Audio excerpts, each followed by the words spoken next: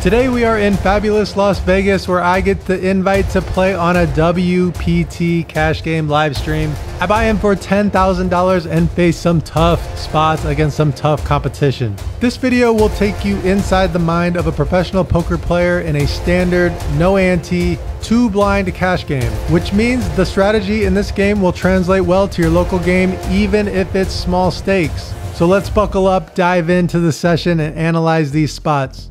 Occasionally here and there, I will blur out some of the cards to make it more interactive, just until a critical decision point of the hand so you can play the majority of the hand along with me. I think it'll be more educational when we think through these decisions without having the bias of our opponent's holdings. All right, in this first hand, I am in the big blind with King 9 offsuit when Cedric raises on the button to three big blinds. These spots 200 big blinds deep are definitely not so straightforward. There's so many things that we can do here.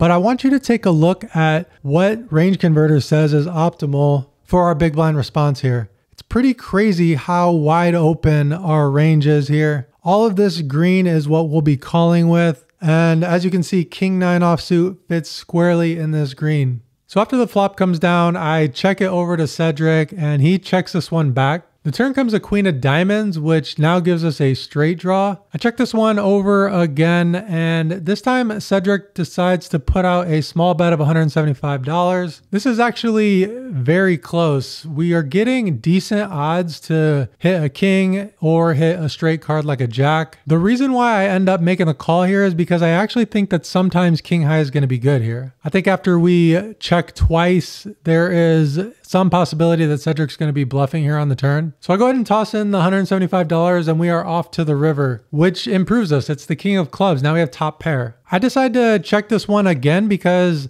I think that in general, this king is going to be better for Cedric's range. So it's a card that he may try to represent more often than not if he was in fact bluffing on the turn. So I go ahead and make the check and Cedric puts out a sizable bet. Obviously, we cannot be folding top pair here. So I quickly toss in the call. Cedric announces ace high, so I just oblige and show my cards I don't want to make him show his cards here. Even though Cedric is first to show, he's basically conceded the pot by announcing his hand, so I have no problem showing here. Here we have Conrad opening it up from middle position. Folds over to me in the small blind. I look down at a suited ace nine. Definitely feels too good to fold.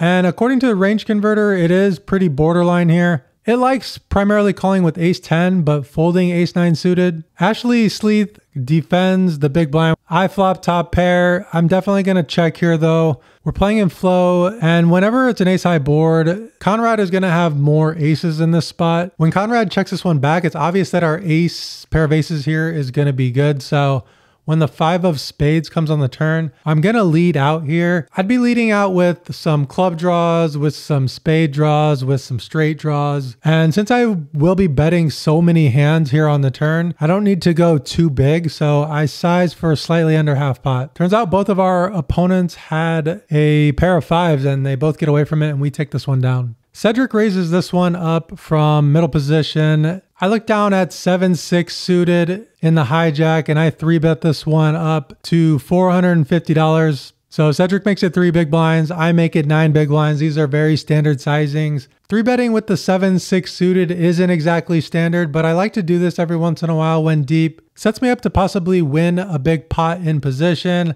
I have more board coverage when middling boards and small boards come out. Just in general makes myself tougher to play against. Cedric makes the call and we're heads up to a flop. When the flop comes down, Jack 5, 3 rainbow, I do have 3 to a straight flush. So when he checks it over to me, I'm going to be betting here. There's definitely some turn cards I can barrel on. I can barrel on some diamonds. I can barrel on cards that are bigger than a jack if he ends up calling the flop. I can also just turn a four and make the nuts. So after I put out a small C bet and Cedric makes the call, we find the six of hearts on the turn. At this point, Cedric checks it over again. And since he called a flop bet, there's definitely a possibility that he could have a jack. Could have been calling with some ace high type holdings as well. But this six is just a bit thin to bet on the turn. So I decide to check this one back. By the way, when I say thin, it basically means that it's hard to get called by worse hands. As you can see, there's no flush draws out there. So what we're really targeting is a five. So after I check this one back and the four of heart comes on the river, we do in fact bink a straight. Only hand we lose to is 7 8 right now, but because he called the flop bet, he cannot have that hand. So we effectively have the nuts here. He checks it over yet again. There's 1775 in the pot. I end up betting 1100 here, which I think in a single raise pot, this is a good sizing because we're trying to get thin value. When there's a four card straight on the board, it's just really hard to get value. So you tend to have to size down a little bit when you do have your value in single raise pots. But here in a three bet pot, I just don't have a lot of sevens in my perceived range. So I think that I can go a bit bigger here and just hope that he has a jack. I think he's going to call up with a jack. If I size up to all the way close to pot. Anyways, like I said, he makes the snap call. He did in fact have a jack. So we're really cooking here. Already up to about a $4,000 profit early on in the session. Andrew Neeme, the godfather of poker vlogging, raises it up from the hijack and I defend the big blind with king nine offsuit. We flop a king and check it over to Andrew who has the betting lead. He puts out a small C bet. Obviously, we're not going to be going anywhere here. I think the best option is to call. This turn card puts more draws on the board if he had a hand like Jack X of clubs, Queen 10 of clubs if he has diamonds, something like Ace 10 of diamonds. I expect him to continue barreling on this turn card and I expect him to size up, which is actually what he did. He actually bets more than the pot. There was 625 in the pot and he sizes for 800. Definitely can have a better king. He can have a set of jacks. He can have a set of sevens. So there are hands that beat me, but because of how draw heavy this board is, I think it's a mandatory call here. River is a 10 of clubs and this one quickly goes check, check. This is a well played hand by Andrew. He perhaps could have bet one more time on the river, but it definitely would have been a bit thin when that card brings in the flush brings in some straights as well, brings in some two pairs. He basically would just be targeting king nine or perhaps a king eight suited type holding that I might defend with. All right, folds us on the button. We have eight five suited. Gonna open this one up for three big blinds. Jimmy defends the big blind, and we're off to a flop that gives us two pair. Board is very draw heavy, two diamonds out there. We do have the backdoor flush draw. So I size up a little bit just because of how many draws are available. Jimmy makes the call, and the turn is the king of diamonds. After a little bit of thought, Jimmy now decides to lead this turn card, and not an overly big sizing. There's a real possibility that he has a flush now, but I also think that he could be turning a hand like Jack 10 into a bluff. But honestly, the king is probably better for me, so whenever someone is leading a card that is either neutral or better for you, I tend to believe that they're just value betting. Can't exactly fold two pair for this price on this turn though. We can always improve to a boat and he can always just slow down on the river. So I go ahead and toss in the call here. River is a seven of hearts and now there's over $1,500 in the pot. Jimmy throws out 1075. At this point, any six makes a straight. Obviously, the diamonds are still there. So far, definitely playing my A game, folding when I'm beat, getting there, which is nice. So far, things are definitely going my way. We did get unlucky there, but we folded and saved quite a bit of money. All right, we're playing a straddled pot here, so I go ahead and open this one up from early position with ace jack offsuit. Frankie calls in the big blind. I believe that he's going to have a strong range here because he's taking a shot here, so I don't see him speculating very wide in this spot.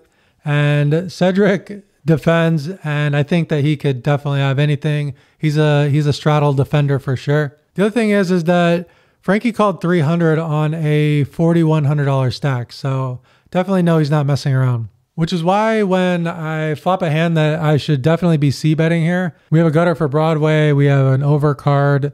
This is just a board that's going to be, in general, good for my opening range. But like I said, I decide to deviate in this spot because of how tight I perceive that Frankie is playing. Turn comes in eight, and no surprise to me, it looks like Frankie is lining up a bet here. He bets a reasonable size. He bets $450, which now puts the pot at 1375.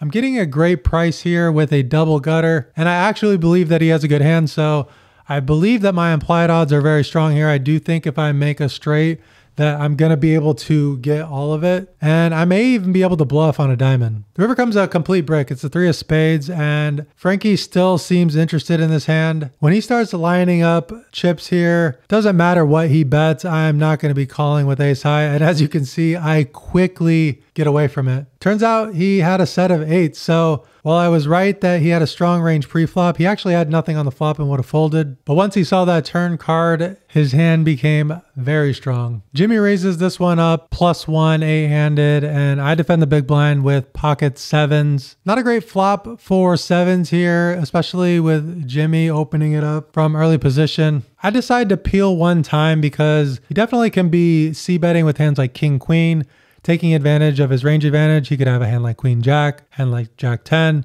And even though my hand isn't doing great equity wise against those overcards, a lot of times people will shut down on the turn. Definitely less likely that he has a pair of aces. Definitely could have been c betting with a, another pair like pocket tens or better. And if he did have a hand like pocket tens or better, he probably would bet again here on the turn. So when he checks back and the river is the four of diamonds, I think he's just going to have a hand like king high all day here. And here's the thing in cash games, when you feel like you have the best hand, a lot of times what you should do is bet on the river here when the hand plays out this way. It's definitely a bit thin, which is why I need to size down so much. I end up going with around a quarter pot. So definitely a bit ambitious here. But like I said, I was fairly certain I had the best hand. So I put out this little blocker bet, hoping to get value. Lynn makes it 250 in the hijack. Looks like we're playing a straddle pot here. I'm in the cutoff with 7-8 suited. I decide to make the call. Andrew in the straddle defends. Lynn decides to check this one over to me and we have second pair here. We have a backdoor flush draw. We have backdoor straight draw. We want to deny equity from overcards. Lynn's going to have some ace kings. She's going to have some ace queens. She's going to have some king queens. So we want to deny equity from those hands. Andrew makes the fold. Lynn makes the call. We're heads up to the turn card, which is the nine of hearts. Pretty interesting. We now have a straight flush draw. Obviously a five makes us a straight. A 10 makes us a straight. The 10 of hearts makes us a straight flush. And any heart is just going to give us a flush. I think our seven is probably not the best hand here, which is one of the reasons why we probably should be checking back this turn. But I also think that this turn card is not going to be so great for Lynn. So I don't see her check raising us a ton here. So by betting this turn, it allows us to maintain the betting lead and it allows us to win a much bigger pot if the heart does actually come in. And it allows us to bet big when we improve to a straight. So I'm definitely on the fence if I should bet here or not. Obviously in game, I decided on bet and Lynn made the call again. River is the eight of spades. So now we have two pair on a very scary board for Lynn if she happens to have an overpair, if she happens to have a pair of jacks. Another spot where perhaps a thin value bet is in order, but it's also interesting because Lynn can definitely have a 10 here. She could have a hand like jack 10, she could have in like pocket tens. So unlike the other spots, this one isn't so clear cut that we have the best hand. I think it's likely we have the best hand, but it's definitely very close. Actually, I checked. Oh, I'll check.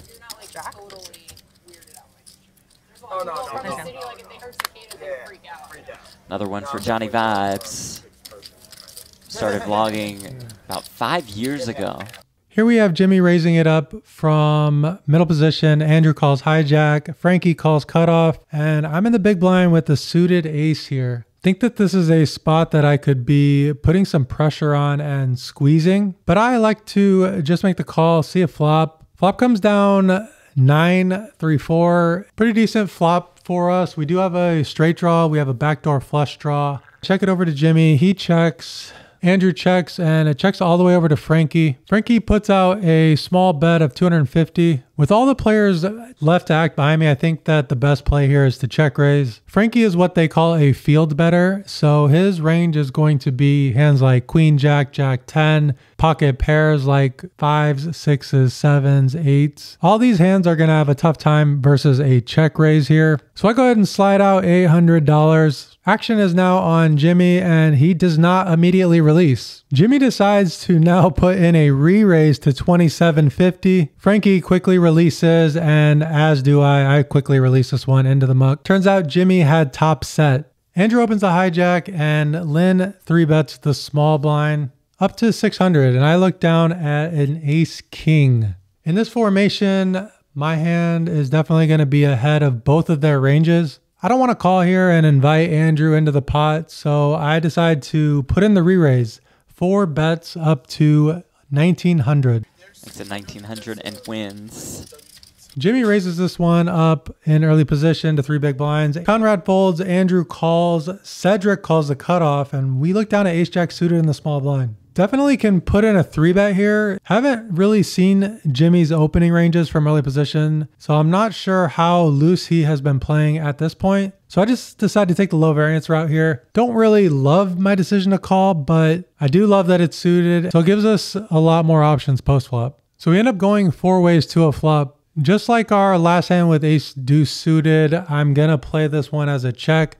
And this time Jimmy checks again. So when Andrew bets, and this is what I talked about in the previous hand, Andrew is a field better. Someone who was not the aggressor pre-flop that called in position is now betting. Cedric makes the fold. And Andrew's going to have a very similar range to what I put Frankie on a couple hands ago. He can have hands like 9-10 suited, Jack 10 suited, Queen, Jack, king, queen, pocket nines, pocket eights, pocket sevens, pocket sixes. But that range shrinks up a little bit when you have players on your left. And Cedric was on his left. So now I'm weighting him more towards hands like 9, 10, 8, 9, pocket nines, pocket eights, pocket sevens. And against a more condensed range like that, I don't want to be check raising my ace jack suited. I'm more than happy to take this price and see a turn card. Jimmy makes a fold and we're now heads up to a turn. Turn is a four of hearts, so some draws actually do get there, five, six. I'm more likely to have a five, six in this spot. So I can definitely see why Andrew checked back here if he does have a value hand. The river comes a seven of hearts, brings the backdoor flush in.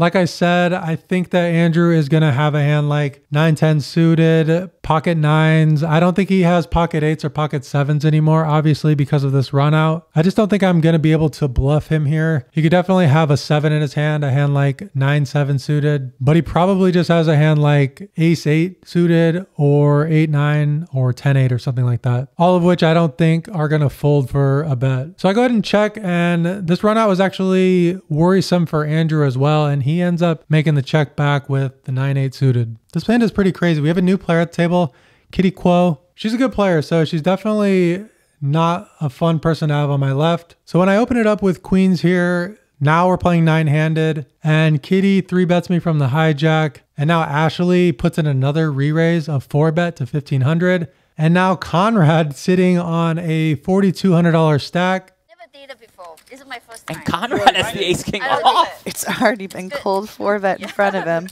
I just not my style. I like it. All of it. going out, you know. Johnny, the one sitting there really with like queens and instantly places them into the muck. Wow. I mean, it's the cold five bet. Uh, of course, Ashley and Conrad were both strong, and instead of having aces and kings, they swapped some cards around, and now they just both have ace king. And if I knew they both had ace king, obviously I want to be in there with queens, especially when the flop comes with a queen on it. The river was quads. You can kind of see my face in the background here. Rest assured, on the inside, I was pretty irritated that I would have made quads. All right, shaking it off. Next hand I open is pocket nines, and Kitty three bets me again. Kitty definitely came to play, but we're not going to be folding pocket nines, cutoff versus button. So I make the call and go into trap mode. Interesting flop here, queen, queen, six. The kind of flop where if nines were ahead pre-flop, they're probably still ahead on the flop. Check it over to Kitty and she makes a continuation bet here. This is the kind of board where she is going to be making a bet very often. So I toss in the call. River double pairs. Continue to check this one over. Kitty checks it back. So I think she's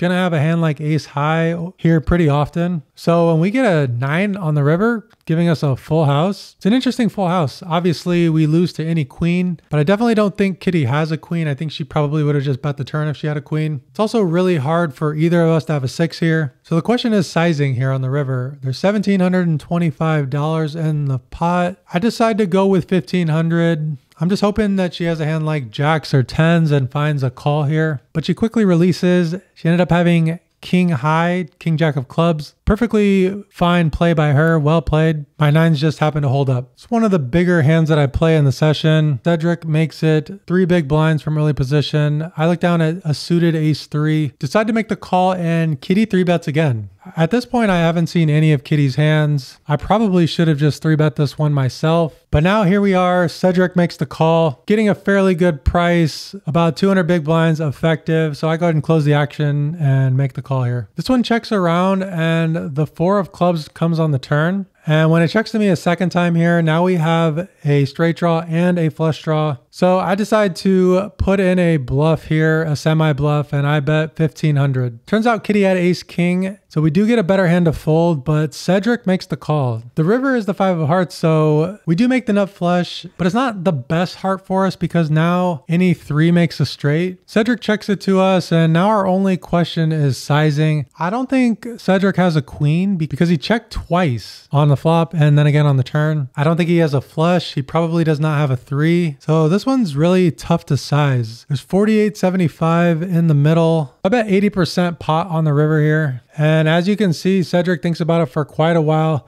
Reason why I sized 80% pot here, $4,000, is because I could sense that Cedric was a bit frustrated and he was playing a bit sticky at this point. And it turns out he had pocket tens and did not want to fold here. Does flick in the call. Johnny Vibes gets paid off. By the way, if you are enjoying this strategy video, don't forget to subscribe and click the thumbs up. It's free and helps my channel out a ton. All right, back to the session. Here we have a high value hand under the gun, ace king offsuit. Raise this one up three times the big blinds. Only caller is Lynn from the big blind. Good flop for our hand here as we flop top pair. We do have the king of hearts in our hand, which definitely is comforting because even if a heart comes on the turn, we're going to hold the nut flush draw. I like betting here. This is a board that we are going to be c betting a lot. So it's nice to actually have the top pair here.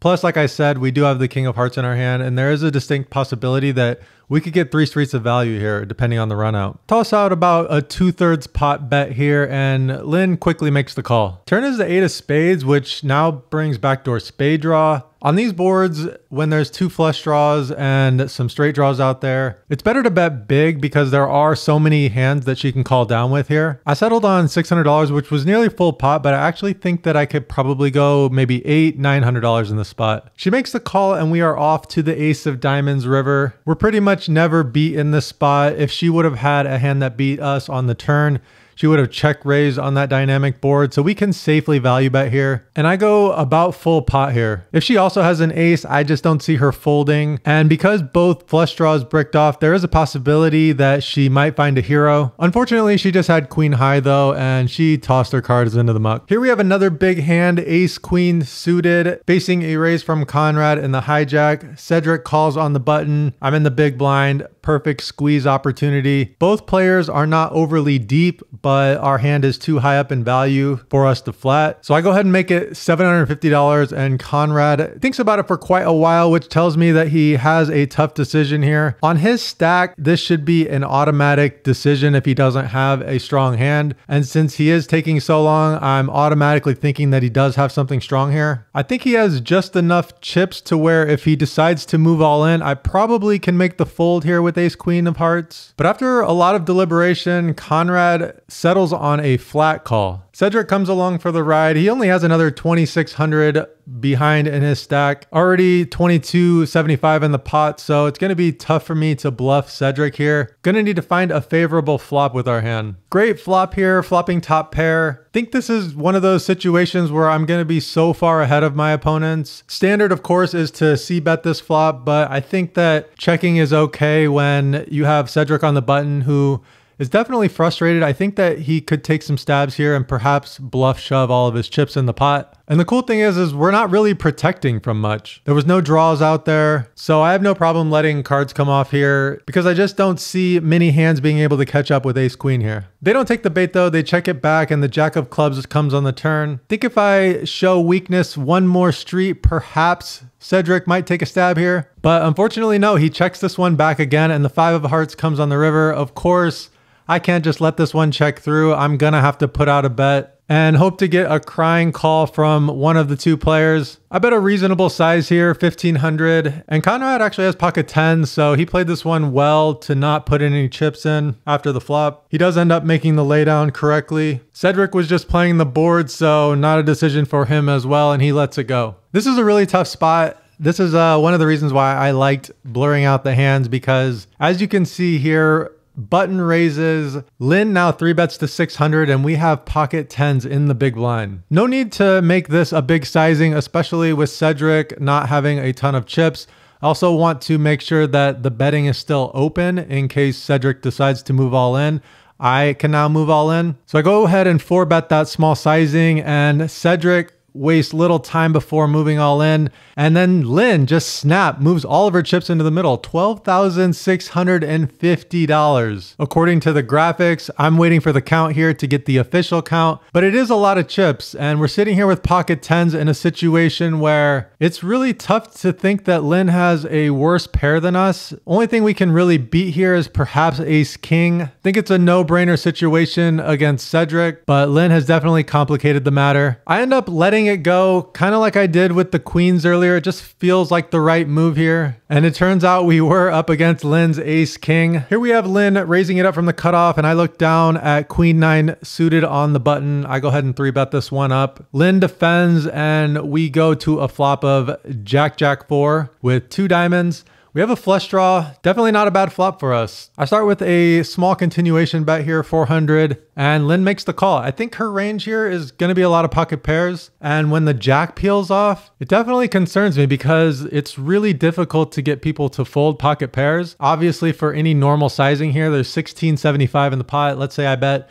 800 let's say i bet thousand let's say i bet 1200 she's not going to fold any full houses for that sizing so for me to actually get her to fold here I'm going to have to use a ridiculous sizing. And I end up going with 2800, which is a massive overbet. And the reason why I do this is because I can have overpairs here. I can have queens, I can have kings, I can have aces, and she just never has those hands. So this is a range play. I'm basically putting her to the test with a small full house. And with my image, I just think that it's going to work.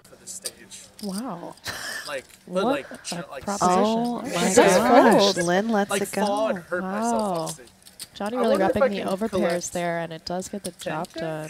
And as you can see, she reluctantly lets it go. Nobody likes folding a full house, but in her mind, she felt like if she made that call that it could be an even bigger one on the river. And it's just hard to hold on with the small full house there. All right, here's a very interesting hand. We have a new player at the table, Xuan Liu. She's a very good player late to the game. This is right before our dinner break. And as you can see, I have a $26,000 stack. So I'm up 16,000 at this point. Open it up with the king, jack of spades under the gun. And we face a three bet from the cutoff. Interesting spot here. And let's see what range converter says. It actually shows king jack suited as primarily a fold here. 94.4% a fold, 5.6% a call. I gotta say, I'm a little surprised. I thought that this was a pretty standard call. I guess if we're playing on a live stream, this is a very standard call. But as you can see, our defending range versus a three bet here is pretty narrow, especially when playing against a tough player like Xuan Liu. But anyways, we go ahead and make the call and the flop is good for us. We flop a king, we flop backdoor spade draw, Xuan bet 350. Of course, the standard play is to just call here, which is totally fine. And that's actually what I did in game. One of the reasons why check raising is a little bit dangerous is because Xuan has an advantage over us. She has more ace kings, she has aces, she has pocket kings and we just don't have those hands at the same frequency that she does. So after I make the call here and we see a turn card, the 10 of hearts, gonna continue to check this one over to Xuan and she now reaches and tosses out 1100. Totally reasonable sizing here. Very easy call in this spot. At this point, I don't think we can be raising. She still holds the range advantage over us and she is now saying that her hand is strong after three betting pre, betting flop, and betting turn. The river is a three of spades, and I go ahead and check this one over one more time. 39.75 in the pot. And Xuan continues. She bets 2,000. And it just feels like she has us beat. You know, she's Three bet pre, barreled all the streets on this run out. Hands that she could have that beat us ace five of diamonds, pocket aces, pocket kings, king 10, pocket tens. I don't think she has a hand like five, six. The only hand I really beat here is ace queen. And I think if she had ace queen, she probably would have bet bigger on the river. So getting this price, 2000 to win 8000, we just have to toss in the call here. It's one of those math things. And as you can see, I start talking it out. She's a good player. I'm not supposed to hold this hand. Oh. Why? Because of Most handsome man list. I'm not supposed to hold this hand against He's gonna fold. how bad could it be? How bad could it be? He wants to fold. How bad could it be? Hoping it's cute. A little table talk here. The Oh, book that says is call, of course, but I just have to let it go. I don't know. Yes. Juan, Juan, Juan, Juan. Show it. And I make the wrong decision. And it, the reason why is just because sometimes I feel like I have to go with my gut despite what the math says. And this is one of those situations where I was just dead wrong. And it's a good lesson, honestly, because so many times in poker, the math is telling us that we're required to do something, and we should just listen to the math so often. It's like folding kings pre-flop. It's just one of those things where if they're ever bluffing, we just have to put the chips in and expect to lose some portion of the time. Now, keep in mind, this is definitely when you're playing against a good player. There are definitely situations where you're playing against a more recreational type player where you can just go against the math and make big folds. Here we have Kitty raising it up for a big sizing 200 under the gun, and I find ace queen in the big blind. No dead money in the pot, so while my hand is going to be ahead of her hand the majority of the time, I decide to play this one a little tricky due to Kitty's aggressive image. I think that I can under rep, and on the right boards, I think she'll bluff and we can win a nice pot. Flop comes out 10 4 4. We check and Kitty continues. This is one of those boards where she's going to continue at a high frequency. So we're going to go ahead and make the call here with the ace queen. Turn comes the eight of diamonds. Not a great card for our hand, and we continue to check here. Kitty quickly checks it back, and the river is the deuce of clubs. Check it over again, and Kitty puts out a reasonable bet, 600 here. I'm just gonna go ahead and let you guys hear the table talk. Chunky little drop of black chips there. Chunky little dewdrop. Little chunk them right, right down. Six is high. Back It six, might ace be high. Everyone like trap pot. But I'm not betting ace high river, right? No, you're not. So maybe based on like a queen high, I bet a turn. So I don't have a queen high. No, you don't. you're actually all saying the truth. she is. I don't know that she's leading him to the conclusion she wants to. It's reverse psychology.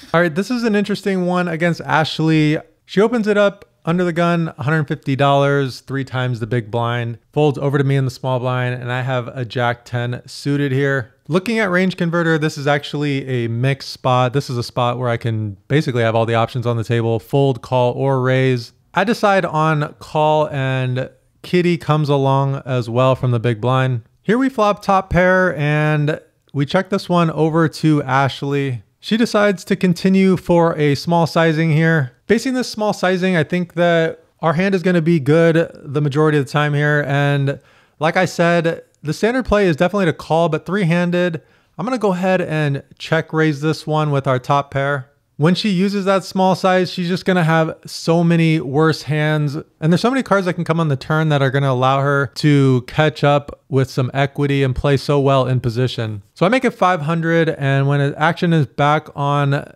Ashley, she decides to make the call here. Turn is a six of diamonds, and this is definitely better for our range, but our hand it doesn't really do much for. I think a small bet is in order here, although I decided on check in game, which in hindsight, I yeah, I don't really like it. I think I should be betting again here. The river comes a queen of hearts, and now it's just really difficult for me to get any value here. Basically, our hand is just too good to bluff here and I think serves much better as a bluff catcher. So when I check it over to her, she puts out a reasonable bet here, 1200. So a lot of times when these decisions are close, if I do have a hand that blocks what she's trying to say that she has, either a queen jack or a jack nine, I'll just toss in the call because me blocking that hand just makes it less likely for her to have it. And oftentimes it's just a small thing that will influence my decision when it's close one way or the other. So when I say this comment, it basically just means that I feel like I have to call when have this card in my hand. Ugh, I hate having a jack in my hand. Oh.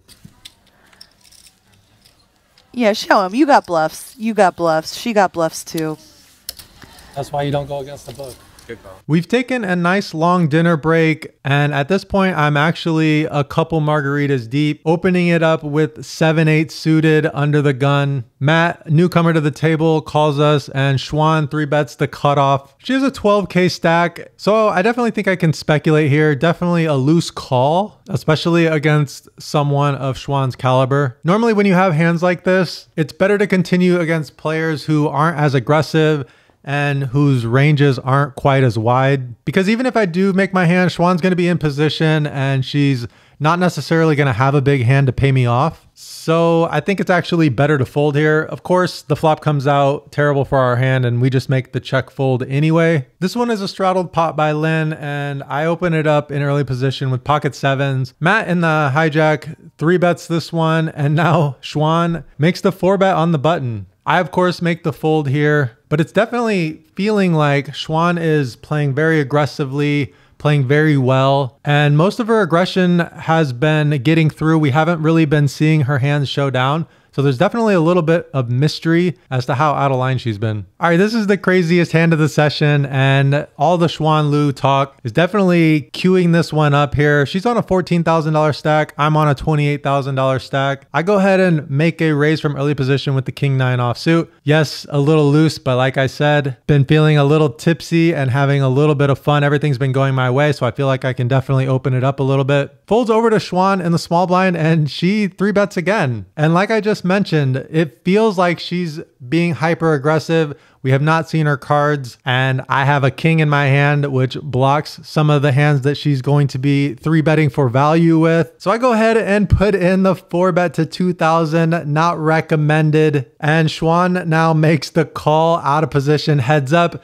That means she has a good hand. She's not really going to be messing around here, heads up out of position. Now 4,000 in the pot. She has 12,000 behind. Ace 8 8 this is a board that I'm going to continue with a high frequency. I just want her to fold her pocket queens, pocket jacks, pocket tens kind of holdings here. This is the kind of board that in a four bet pot, you definitely don't need to go big here. So I go for a thousand. She does make the call and now the queen comes on the turn and I'm pretty much in no man's land here. We got 6,000 in the pot. She has 11,000 behind and I just have no equity against her hand. She could have a hand like ace king. She could have a hand like ace queen. She could even have pocket aces in this spot. The only hand that I really think I can get her to fold here is pocket jacks or pocket tens. So when I put out a bet here, 4,000, of course, this is the last attempt to get her to fold. She only has 11 in her stack. So if she makes the call here, she's only going to have seven left.